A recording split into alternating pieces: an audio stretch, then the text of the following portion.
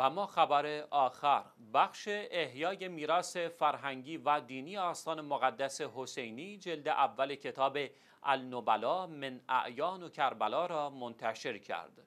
این کتاب توسط مزفر صلاح کامل و احسان خزیر عباس در راستای اجرای پروژه چاپ و توزیع میراث علمی، دینی و فرهنگی علما و شخصیت‌های کربلای معلا گردآوری و تدوین شده است. به گزارش پایگاه اطلاع رسانی آستان مقدس حسینی احسان خزیر مسئول میراث فرهنگی دینی این آستان در این باره گفت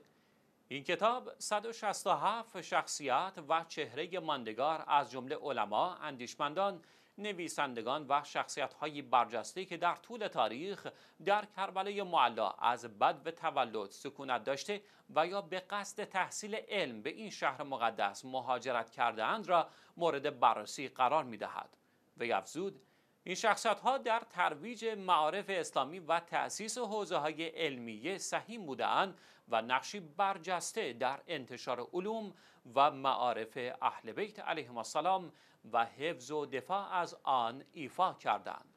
علاقمندان به دستیابی به نسخه های این کتاب می توانند به مراکز فروش مستقیم آستان مقدس حسینی در شهر مقدس کربلا رجوع کنند.